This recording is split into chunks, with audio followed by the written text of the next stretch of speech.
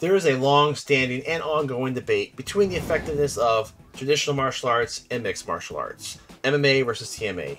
And there's a lot of claims on both sides. And one of the claims that comes up is that MMA is not as effective in self defense because it's really mainly a sport and trained for the ring. So I thought that that little aspect might be worth pulling out, taking a look at, and we asked the question Will MMA work in real life self defense?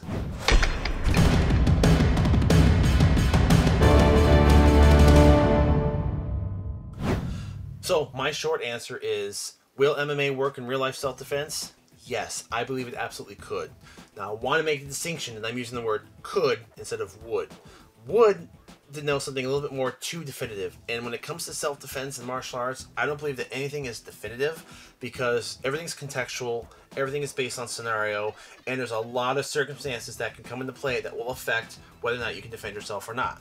So, you're talking about a skill set where you're putting your hands on another person, there's a lot that can go wrong.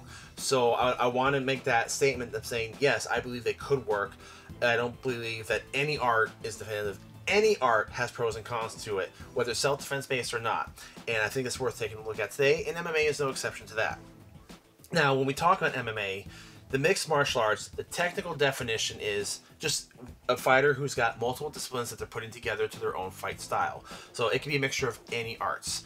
But in today's context, for the topic and purposes of this video, we are referring to the mix, specifically MMA that you see in the UFC or cage fighting, the sport aspect of it. And typically, every fighter is a little bit different, but typically you see a combination of judo, Brazilian Jiu-Jitsu, boxing, kickboxing, Muay Thai, or, or some form of karate and other striking arts. That's kind of the core of what you usually see in the UFC. So we're going to kind of, for today's video, today's purposes, we're going to use that as the definition of MMA, is what you typically see in the cage. Because when it comes to the discussion and debate between traditional arts and mixed martial arts, people always ask, well, how can we never see this work in the cage? So we're going to take that, we're going to take whatever works in the cage and see if it works on the street. And honestly, the truth of the matter is, it comes down to each individual person, each individual fighter skills. Just because you train in MMA does not automatically mean you can defend yourself. You still have skills to develop. You've got timing, you've got conditioning, you have to have strategy in combat. You know, not everybody just takes that naturally, or not everybody gets good at that. So if you have a person who has trained in MMA but they're not particularly good at it, you know, they could lose to somebody from another traditional martial art. It comes down to the individual person. So just because you learn an art or you learn go to a gym and you learn a discipline does not automatically make you good at it. But looking objectively, I do believe that MMA fighters have extreme fighting skills and I do think that they have a high chance to be able to defend themselves in a real life situation, but it goes deeper than that. Every discipline has pros and cons, and I don't believe that there's a single art or a single school out there that fits the mold of being the best of every aspect of fighting or self-defense, and that's why I encourage mixing and finding the pieces that you like that fit together. MMA has pros and cons, and we're going to take a look at them right now in the context of self-defense. Now, I personally think that MMA fighters have a lot more pros and cons, a lot more advantages and disadvantages, mainly because these are usually trained athletes. These are people who many times do this as a career or even as, as, as maybe as an amateur career, but they take this very seriously. If they're a cage fighter, then, they are, then they're doing this a, a pretty significant um, level of commitment. So you have fighters who fight on a regular basis. And that right there leads into the first aspect. The first advantage is the fighting, the sparring. MMA training is heavily, heavily focused on sparring and fighting is a big part of the school regimen. It's not like many schools where you go to class, you learn katas, you learn drills, you do this, you do that, and maybe the last 10 minutes of class you'll fight, or maybe two, two out of three days a week, or three days a week you'll fight. It doesn't matter. MMA, the heavy focus on training is sparring. Whether you're rolling on the floor, whether you're practicing submissions, whether you're all out boxing, it's just the fighting aspect is very large and forefront and present in most MMA gyms, and that alone will give somebody fighting skills. And that goes for all arts. Regardless of what art you train, if you are not regularly sparring and working with a partner and hitting each other, you're not going to develop that timing, that distance, that discipline, that intelligence that goes to into a fight. So right off the bat, I think that's one of the big advantages of MMA fighters is that they have a very concentrated focus on actual fighting and hands-on with an opponent they also learn a variety of disciplines. So you don't just go to an MMA school and learn how to hit pads. You know, the, you know if it's a good school, you're going to learn stand-up fighting. You know, good strikes, good blocks, Uh, you're going to learn ground fighting. You're going to learn takedowns, throws, chokes, submissions. So they kind of take pieces of different arts, they put them together to become a very well-rounded fighter. So, as someone who's proficient in an MMA school, or if you go to a school that's highly effective at training fighters, you're not going to get just one discipline. You're going to get a good, rounded um, combination of skills that are going to serve you well in the ring. So that's one thing is a lot of arts don't teach that. You know, you've got arts that are great on the ground, but they might not be as good at standing up. Or you've got arts that are great stand-up arts, but if they go to the ground, they don't know what to do. That's why many people mix arts together, but MMA has that built in. So if you look at any UFC fighter, most of them have very strong stand-up skills, very strong ground skills, and very strong locks, throws, defensive. So just the variety of training is an advantage in itself. Also, they are conditioned, and this this I think is one of the greatest advantages of someone who trains in MMA is that that conditioning can really withstand a lot. You're talking trained athletes that focus on this. They put their bodies through some serious abuse to be able to stand up in the fight. These are not people who train the fight for just one quick, you know, one minute or just a quick defense. They're trying to build up endurance to last multiple rounds against heavy abuse and strikes being thrown upon them.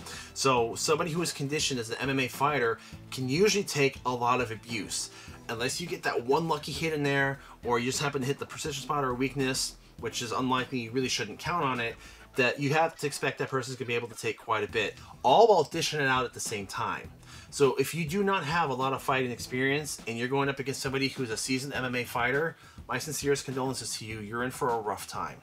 That conditioning is huge. And since people like to point out, oh, it's just a sport, yes, UFC is a sport, but let's not forget that sports have rules. You know, there's a referee there that'll stop you know certain abuse, or if an opponent passes out, or if an opponent taps out. That's not present on the street in real life. You don't have those rules. You don't have the referee, and there's no tapping out. You know, eye hooks, bites, dirty fighting happens in the streets. And when your life is on the line, anything goes. So you take these athletes that have this very high level of skill with restrictions and now you take those restrictions off put them in a real life situation where they feel threatened that danger level their their expertise level just jumps up that much more so you have to understand they are not bound by any rules at this point and in many cases they love to fight. If it's an MMA fighter who's fighting for the cage, this is sometimes a career or at least a very serious hobby or something that they want to do. These guys live to fight. So now you are putting a situation into play where somebody who trains to fight, might even do it for a living, has a passion for it, now has to use it to defend themselves, you can expect them to bring their A game. So yes, I fully believe a highly skilled MMA fighter has a great chance and has a great skill set to defend themselves in a real life situation. But as I mentioned before, I don't believe that any art or any discipline is the be all end all to all self defense. That even even with MMA, there's still areas that they don't focus on that are worth taking into consideration. One of those considerations is multiple attackers. MMA fighters train to be in the ring with one other fighter you know, straight on line of sight. They don't train for 360 degrees. Worry about a guy's buddy behind them. They don't train to handle multiple attackers. That doesn't mean the person can't adapt, especially if they've got boxing, and they've got that footwork, then they can move around and adapt to multiple people. But it doesn't mean that they've trained to have that mindset and really strategize, you know, where their placement should be, how to use one person against another, how to use your position against theirs. So that's one aspect that the MMA sport fighting does not address is multiple attackers, especially on the ground. You know, BJJ and grappling is really huge in the ring, but that's the last thing you want to do in real life situations go to the ground if you don't have to, because especially if they've got friends, you might not know if they have friends. Multiple attackers is just an aspect that isn't present in sport MMA fighting that really needs to be kept in consideration in real life. And with that comes environmental awareness.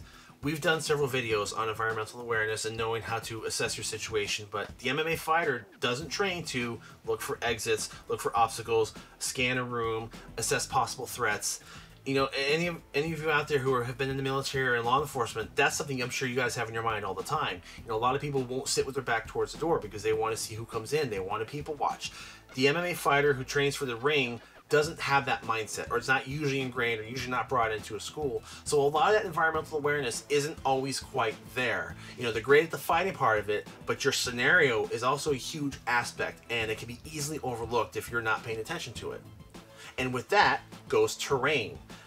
So in the ring, you've got two fighters in a contained area, flat surface, one on one with a judge or a referee.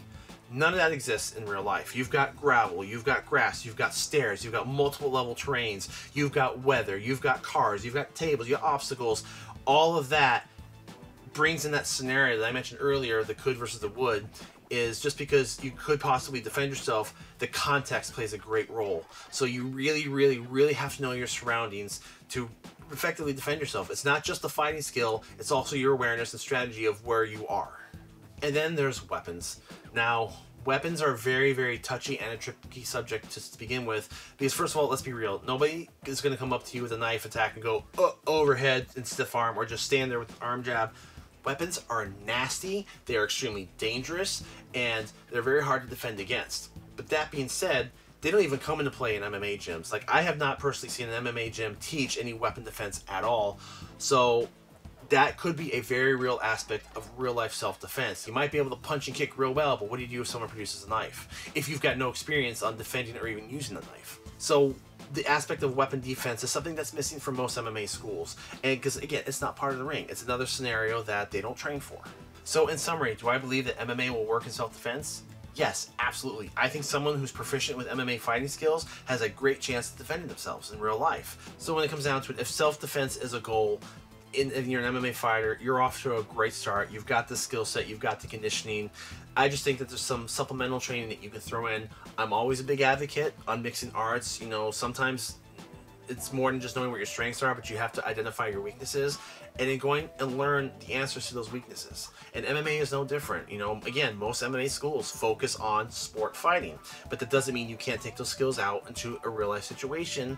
And I just think that there's a lot of supplemental training that you can add to give yourselves even the better chance to defend yourself in a real life situation. So as always, thank you guys so much for watching any MMA fighters out there who are watching this, I would love to hear from you. Have you ever had to use your MMA skills in real life? And if so, how did that work out for you? And if you were to choose, or if, you, there's something that you wanted to add to your training, or if you felt that there was an aspect missing, what would it be? You know, this is a great place to kind of bounce ideas back and forth. Other viewers could have recommendations and just share your experience. So again, thank you all so much for watching. Please like and subscribe and join us on Patreon. We have a lot of exclusive content for you all there, and we will see you next time.